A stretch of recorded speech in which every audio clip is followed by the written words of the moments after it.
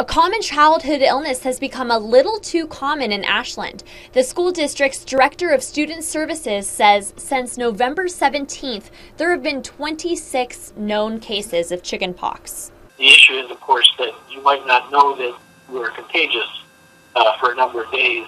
Family nurse practitioner with Asante, Teresa Poplinski, says the reason you may not know you can get someone else sick is because the familiar rash hasn't appeared. But there's two days before the rash comes on where you're most contagious, and you might have fever, loss of appetite, a feeling of being tired, uh, and cough and then two days later the characteristic rash comes on. The high number of cases within Ashland School District has school leaders keeping some students from going to class. The affected children include those whose siblings have recently had chickenpox. Because we can pretty much guarantee that they've been exposed. Poplinski says the illness can lead to more dangerous health problems and is extremely easy to catch. It can be as simple as a sneeze or cough from someone with the disease or a touch of a blister. There are complications and that's the scary thing about chickenpox.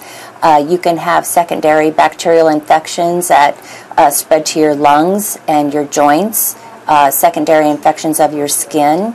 You can get a brain infection. The local nurse says there is one way to avoid all of this. Since 1995, when they first brought out the vaccine for varicella, there's been a 90% decrease in hospitalizations and deaths related to chickenpox. So the vaccine has definitely helped us. Covering your news, Ariana Rakhshani, News 10.